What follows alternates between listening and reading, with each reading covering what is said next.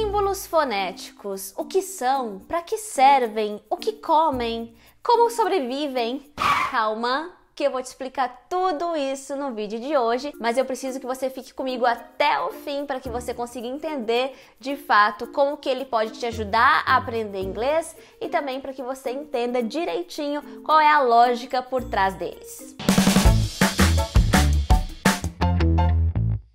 Já faz 84 anos desde o início do canal que vocês me pedem esse vídeo e por algum motivo eu procrastinei até hoje, mas finalmente chegou o dia que eu vou ensinar tudo o que você precisa saber sobre o International Phonetic Alphabet, que é o alfabeto fonético internacional e como ele pode te ajudar a aprender inglês e outras línguas, enfim, como pode te ajudar também como professor é, de línguas, né, de idiomas. Quem estuda inglês ou outros idiomas já deve ter visto é, nos dicionários ali, antes da definição da palavra, uma transcrição fonética, ou às vezes é fonológica, né? Quando tá entre barras é fonológica, quando é entre colchetes é fonética. Uma transcrição dessa palavra em símbolos fonéticos, né?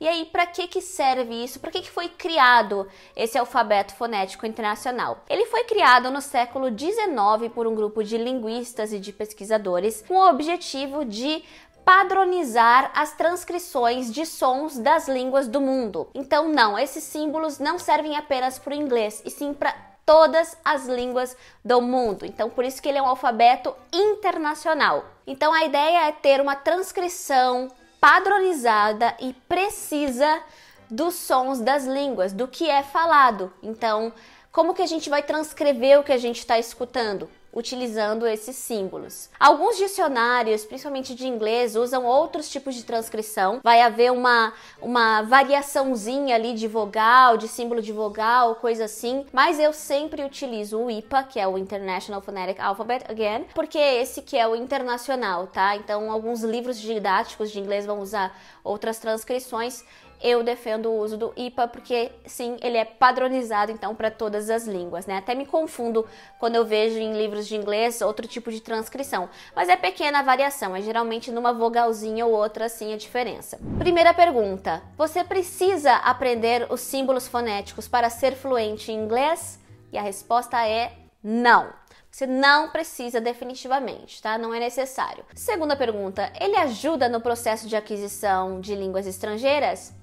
Sim, ele foi fundamental para que eu melhorasse a minha pronúncia, para que eu desenvolvesse a minha pronúncia no inglês e que eu tivesse consciência dos sons que eu estava escutando e produzindo. Então é útil sim. Então para que, que a gente precisa desses símbolos? Para que, que a gente precisa transcrever o que é falado, né? O primeiro ponto é para descrever as línguas do mundo. Então a gente pensa, hoje a gente já sabe direitinho como é que o inglês e o português funcionam, por exemplo, a gente sabe os sons que tem no inglês e do português português. Mas há várias línguas sendo descobertas ainda hoje, né? Eu tenho, por exemplo, um professor que foi uh, fazer uma imersão em uma tribo de pigmeus, se eu não me engano, foi na África, para descrever a língua deles. Então ele passou um ano lá, acredito eu, um ano, um pouco menos do que isso, escutando tudo aquilo que eles falavam e transcrevendo os sons, montando o sistema fonológico daquela língua, o que era um fonema, o que era só variação linguística. Então, assim, como que ele iria notar se ele não tivesse os símbolos, né?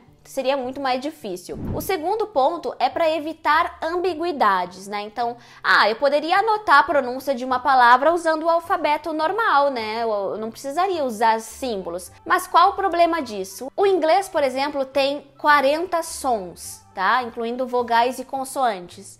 Só que a gente tem só 26 letras no alfabeto. Então ficaria difícil transcrever cada som, já que a gente não tem letra suficiente no alfabeto é, para representar cada som individual. Né? Então, o que, que isso acabaria ocasionando? Em ambiguidade. Por exemplo, uma palavra como thought, tá? Contem quantas letras tem a palavra thought tem sete letras, certo? Mas agora vamos pensar em som. Quantos sons tem a palavra thought?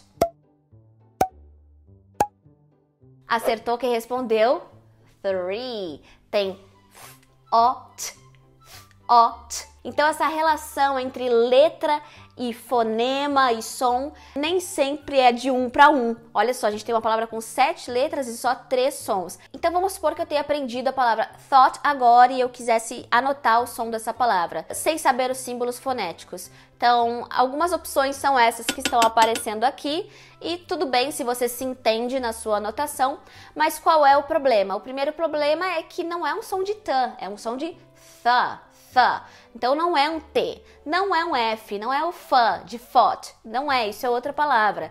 É, e também uh, eu poderia colocar uma letra maiúscula para dizer que é um th e não um t, mas daí isso poderia me dar um problema depois é, para transcrever o th que é vozeado, enfim. Não é muito mais fácil eu aprender que o, o, o símbolo de th é este aqui? Né? Então ficaria muito mais fácil de transcrever essa palavra. E um terceiro fator que faz com que o IPA seja útil é porque nós somos frequentemente traídos pelo nosso ouvido. Eu já falei num vídeo sobre bilinguismo, não sei se já foi pro ar, mas eu vou deixar linkado aqui, que conforme a gente vai crescendo e ficando cada vez melhor na nossa língua materna, que no nosso caso é o português, a gente vai ficando cada vez mais surdo para sons que não pertencem à língua portuguesa. Então a gente começa a não perceber esses sons porque eles não são importantes para nós. Os importantes são aqueles que a gente tem na língua portuguesa. E aí, perceber contrastes do tipo man e man ou sheep e ship acaba se tornando cada vez mais difícil. Nós não conseguimos nem escutar a diferença. Tipo, como assim sheep é diferente de ship? Para mim é igual, para mim é um i, normal, é o mesmo i, quando não é. Então a gente começa a ficar surdo para esses contrastes. Então, é muito bom escutar a pronúncia de uma palavra no Google Tradutor, por exemplo, ou num dicionário online. Vou deixar as sugestões de dicionários que eu gosto aqui na descrição. É ótimo, é muito bom escutar uh, os sons que daí a gente pode repetir em cima e tudo bem. Só que às vezes fica uma dúvida. Às vezes fica uma dúvida porque a gente é traído pelo nosso ouvido. Isso acontece comigo até hoje. Então vamos supor que eu tenha escutado a palavra live pela primeira vez. I live in Brazil. E eu quero checar se é live ou leave. Eu posso simplesmente digitar essa palavra num dictionary.com, por exemplo, que é um dicionário que eu sempre uso, e aí eu posso escutar essa palavra e se ficou a dúvida, ter a transcrição fonética ali do lado. Eu também posso usar um Cambridge Dictionary, por exemplo, que é muito bom. Faço a mesma coisa, digito a palavra, escuto e ainda vejo a transcrição fonética para tirar todas as minhas dúvidas. Bom, então vamos finalmente ao IPA, né? Isso que vocês estão vendo aí na tela é o IPA, o alfabeto fonético internacional e ele é dividido em várias sessões e eu vou passar uma por uma com vocês para vocês entenderem tudo o que isso significa. Então, o primeiro quadro que a gente vê é o quadro das consoantes pulmônicas, né? Então, por que, que são pulmônicas? São as consoantes nas quais o ar sai dos pulmões para fora, né? Então é esse sentido aqui que o ar vai estar tá saindo e ele vai ser obstruído por alguma parte da tua boca. Então, uh, por exemplo, uma consoante bilabial, que é a primeira que aparece ali, o ar vem do meu pulmão e aí ele para. Eu estou obstruindo ele aqui nos meus lábios e aí eu solto o ar. Então isso é uma consoante pulmônica bilabial.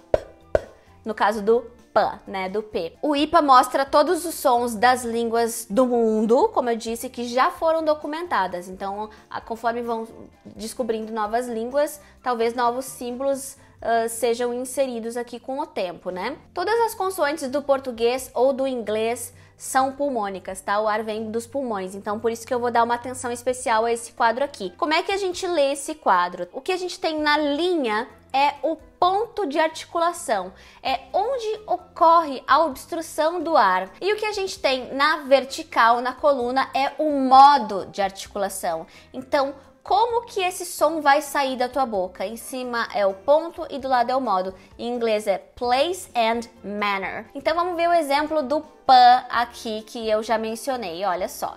Então o pan ele é bilabial por quê? Porque o ponto de articulação é aqui nos lábios, dois lábios. É isso. E agora o modo dele é plosivo. O que é plosivo? Que a gente traduz como oclusiva também. São aquelas em que há uma explosão do ar, né? É justamente esse p né? Então é assim que sai o ar. Isso é uma consoante bilabial plosiva. E aí no mesmo quadradinho eu tenho o ban, o B, né?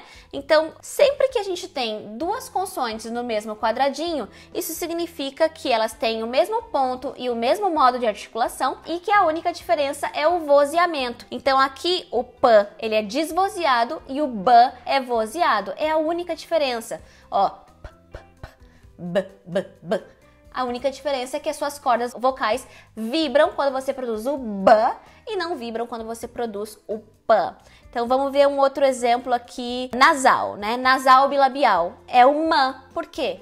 É bilabial, ma, ma. E é nasal porque se você encostar a mão aqui quando você produz um M, você vê que o, ar tá saindo pelo nariz. Ma, ma, ma. Então você sente ma, que o ar tá saindo pelo nariz. Então ela é nasal mãe, mãe. O trill é quando há uma repetição rápida é, do, do, do, som com uma batida rápida, dependendo do ponto de articulação. Então aqui é bilabial, é, é como se fosse. Então algumas línguas vão ter esse som né? A gente não tem no português nem no inglês. O TEP é uma batida só rápida. A gente não tem bilabial, mas a gente tem o TEP alveolar. Vamos colocar aqui pro lado o alveolar. O alvéolo é aquela parte atrás dos dentes aqui. E esse é um som que a gente usa muito em português em palavras como carina. Olha só. Então, o rã, rã, rã de carina, esse rã é um TEP, é só uma batida rápida nos alvéolos que é essa parte aqui atrás da língua.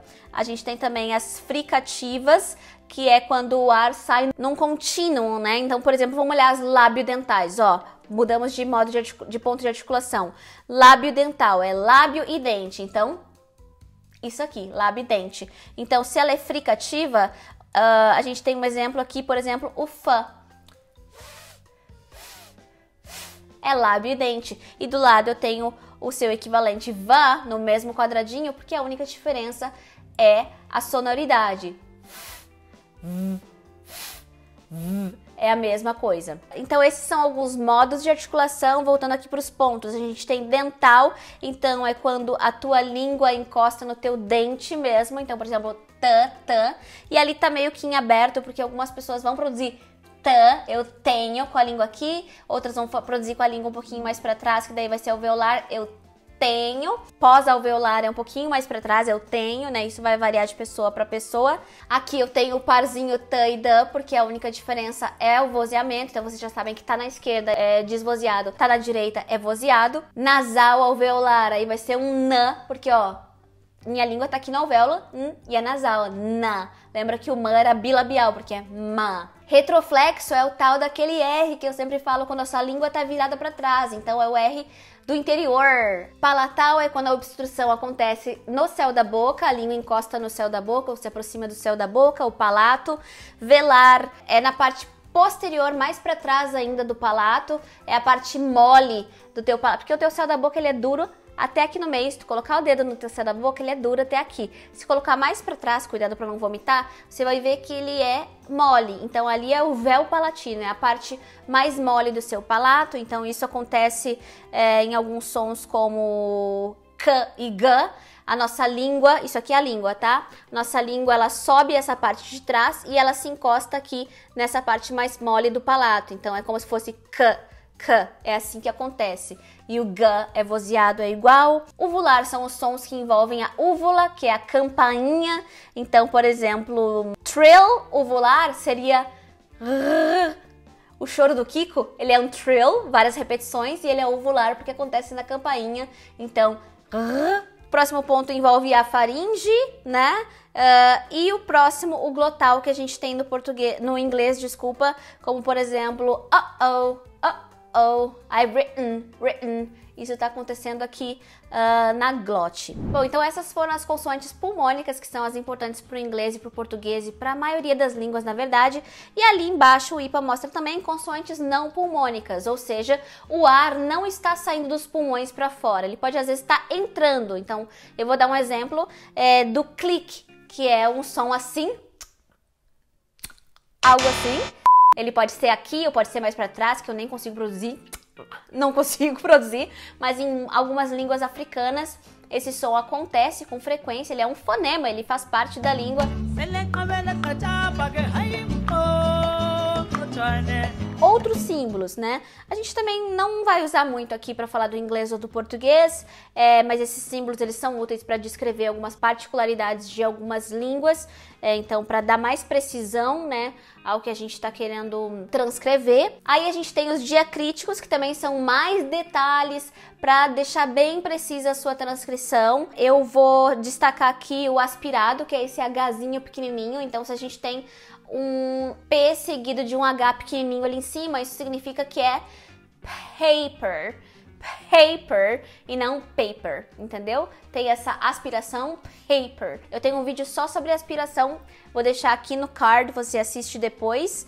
Uh, a gente tem também os super segmentals, que aí são uh, notações que vão além do segmento, então vai além do som individual. A gente vai falar aqui de acento, entonação, sílaba e o que, que é importante aqui pra gente. Esse apóstrofo, né, ali, sempre que você vir numa transcrição um risquinho antes de uma sílaba, isso significa que aquela sílaba é a sílaba acentuada. Então é isso que significa esse apóstrofo nas transcrições. E se você vir tipo uma vírgulazinha como essa aí, isso significa que é um acento secundário. Isso é comum no inglês. Então, em palavras longas como phonetician, né, que é a palavra que está aqui de exemplo no IPA, o acento principal da palavra é T, né? Então, porque tem um apóstrofo antes daquela sílaba T. Só que a sílaba phone também ela é, tem um acento secundário, então ela não é tão fraca assim, é phonetician. Então T é mais forte, mas phone também tem um acentozinho. Uma outra coisa importante aqui dos super segmentals são esses dois pontinhos que indicam que uma vogal é longa.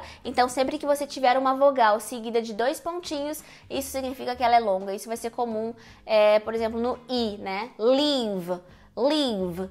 Então você tem esses dois pontinhos para dizer que esse i é um i longo. Esse pontinho final é importante também porque ele diz quando há uma separação de sílaba, né? Então aqui a gente tem o exemplo da palavra react.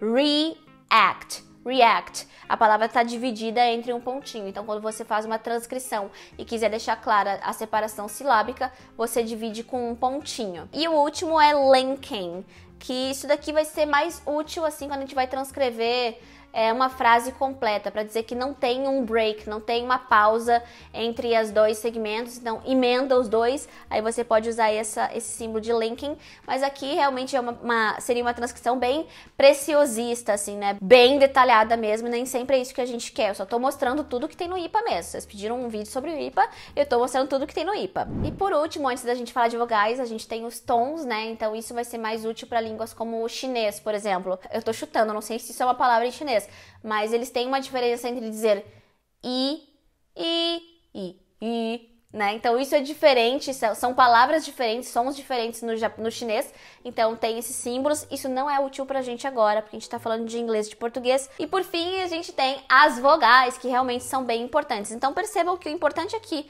para nós são as consoantes pulmônicas, as vogais e alguns diacríticos ali e suprassegmentais, né? Isso que a gente vai usar. Então, como é que a gente interpreta esse quadro de vogais? As consoantes a gente interpretava como ponto e modo, né? Vogais não é ponto e modo mais, a gente tá, vai falar de altura da língua. Na verdade, esse símbolo aqui, esse gráfico, representa a nossa língua. Então, quando a gente tem aqui uma back vowel, Uh, como por exemplo o U, isso significa que é a parte posterior da minha língua, a parte de trás da minha língua, que vai se elevar, né? Ou abaixar, dependendo do que for. Então, o U, a gente diz que é uma vogal alta e posterior. Por quê? Porque ela sobe quando ela é produzida. E o que sobe é a parte de trás. Então, façam um U, lavem a mão, coloca o dedo indicador dentro da boca de novo, cuidado para não vomitar, e fala U, U você vai sentir que é a parte posterior da sua língua que vai levantar. É incrível. Então, é isso. Agora, quando você fala um i, fala um i com o dedo dentro da língua, i, i, você vai sentir que ela, o que vai levantar é a parte frontal da língua, i, i. Então, o i e o u são vogais altas, porque a língua se eleva em direção ao uh, palato ou céu da boca. Só que no I o que acontece é que a parte da frente se eleva e no U é a parte de trás. Então por isso que o I é uma vogal frontal e o U é uma vogal posterior. só para contrastar, vamos ver um A do português. O A, ele é o contrário, não é uma vogal alta, ele é uma vogal muito baixa. Por quê? Porque quando eu falo A, o que acontece é que a minha língua desce. A, então ele é uma vogal baixa. Então é assim que a gente lê esse gráfico. Sempre que a gente tem um parzinho de vogais, né? Como por exemplo ali do lado do I, eu tenho um I e um símbolo que é um Y, né? Então quando a gente tem um parzinho de vogais, isso significa que a vogal da esquerda ela não é arredondada, os lábios estão spread, não estão arredondados, como por exemplo I, e a da direita é, é o mesmo som, a mesma posição, mas o lábio está arredondado, então seria como I. É o I do francês, né? I, I, né? Então aqui vamos dar o exemplo do U. O U tá à direita é, do parzinho, porque ele é arredondado. U, U, olha minha boca. E agora a gente tem um outro som ali, que eu não sei em que língua é, que é o mesmo U, só que com os seus lábios uh, não arredondados. Então é como se fosse U, U. Não sei que língua também tem é, esse som, mas a gente consegue interpretar o gráfico dessa forma. Então esse vídeo foi especificamente sobre como interpretar todo o IPA por completo, né? Com essas ferramentas você consegue transcrever e entender transcrições fonéticas de todas as línguas do mundo, né? Então para isso que eu fiz esse vídeo para você entender mesmo o passo a passo, cada coisinha, cada informação que você tem no IPA para você ver como é rico, né? É um alfabeto muito rico. Você consegue transcrever qualquer língua e também entender qualquer transcrição. Mas é claro que eu tenho certeza que vocês querem saber sobre o inglês especificamente, já que esse é um canal de inglês. E eu achei que eu faria nesse vídeo aqui junto, mas eu acabei falando muita coisa. Eu acho que vai ficar melhor eu fazer um segundo vídeo.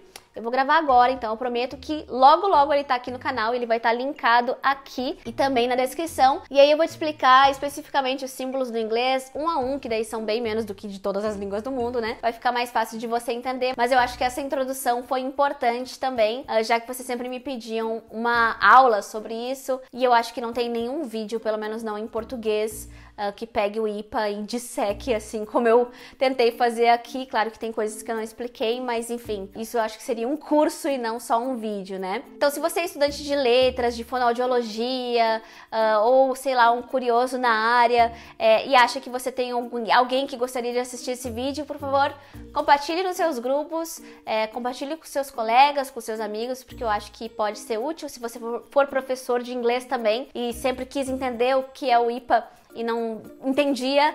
Espero que eu tenha contribuído. Compartilhe também com seus colegas. E para os estudantes, eu tenho certeza que o meu próximo vídeo vai ser bem mais útil, bem mais uh, voltado para as suas necessidades. Então, não deixe de conferir o próximo vídeo aqui no canal. See you next video. Bye!